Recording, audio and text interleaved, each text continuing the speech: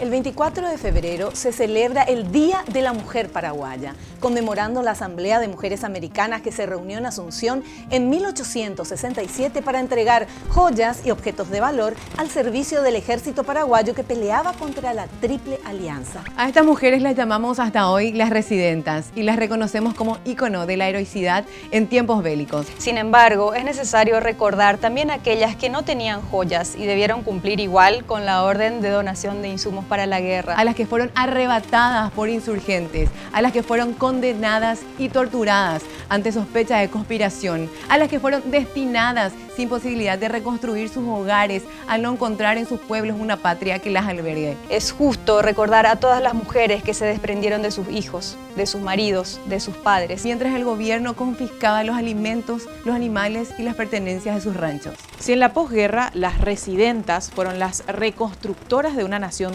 devastada, cómo es que en la actualidad vivimos aún sumidas en un sistema patriarcal en donde muchas veces la mujer es relegada a puestos secundarios sin el reconocimiento de derechos básicos como el de la participación política en condiciones de paridad. Vivimos en un mundo que exige cada vez más acceder a puestos de trabajo que aseguren solvencia económica y desarrollo individual para una vida digna. ¿Cómo se explica que 150 años después de que la mayor parte de la población masculina del país haya sido exterminada. Las mujeres ocupan tan solo el 18% de cargos públicos, tanto en el Parlamento como en el Ejecutivo. En 1918, un grupo de maestras de la capital iniciaron el primer movimiento de mujeres que buscaba ejercer el derecho al voto, así como las mujeres de los otros países de la región. Esto derivó en el surgimiento del movimiento feminista de 1920, que además pretendía regular condiciones laborales y resolver problemáticas civiles como el divorcio. Tuvieron que pasar 40 años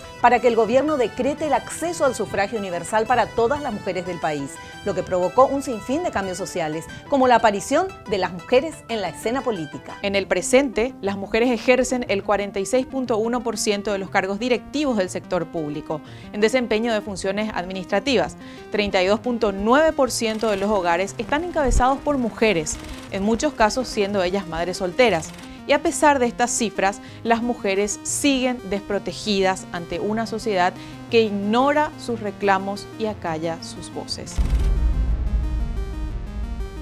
Las paraguayas fueron dejadas a un lado en la reconstrucción histórica, social y política del país, al punto de que hoy no solo ocupamos un lugar ínfimo en la toma de decisiones políticas, sino que estamos desprovistas de garantías jurídicas que aseguren la equidad en cuanto a las ganancias, a la construcción social con perspectivas de género y a la paridad política en busca de un país que respete íntegramente los derechos humanos de todas y todos sus habitantes. La desigualdad estructural que impide que las mujeres puedan ejercer libremente sus derechos es una problemática de la que todos somos parte. Entonces, es justo detenernos a analizar cuál es el verdadero lugar que ocupamos hoy en un país que históricamente ha ignorado nuestras luchas, apagado nuestras voces y negado espacios de decisión que son indispensables para una construcción sólida e igualitaria de un país como el nuestro.